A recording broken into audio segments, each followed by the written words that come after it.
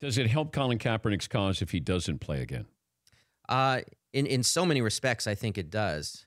And it's so f- interesting you say that because I was thinking back to a time I was on this show in the fall of 2017, and you asked me if I thought he would get signed for the coming season, and I said no. And um, you were surprised, and then I hedged a little bit, and there was this idea. Well, of course he's going to get signed because someone is going to need him. Eh, But it's like as the months have gone on, and as he hasn't been signed, the memory of a quarterback who is probably on on the who who is just um, the memory of a quarterback who you would not say was in the Tom Brady class Yeah. has faded and this iconic status has developed. I mean, he's he's at Harvard today accepting a W.E.B. Du Bois Award. I mean, so so the legend has grown, and in so many respects, it's helped him for whatever he wants to do in the years ahead. Why is he not doing interviews?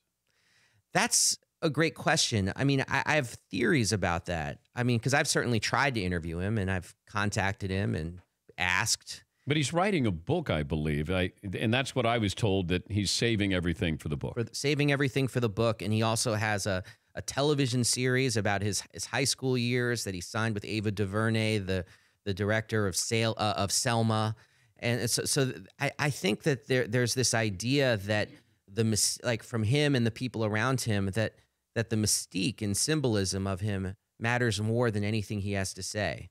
That's what they've kind of figured out, and it's hard to disagree with them because it's almost like the less he says, Yeah. the more curious people are about him.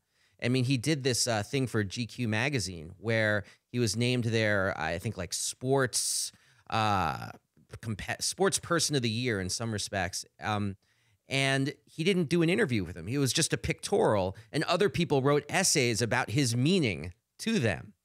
And it's it's savvy in a way that I think it's almost like the anti Ali. It's it's it's Sphinxian almost, where the less he says, the more you're curious about what he wants to say. He's the Mona Lisa smile of activist athletes. For more Dan Patrick Show, tune to Audience Channel 239 on DirecTV or download the Dan Patrick Show app.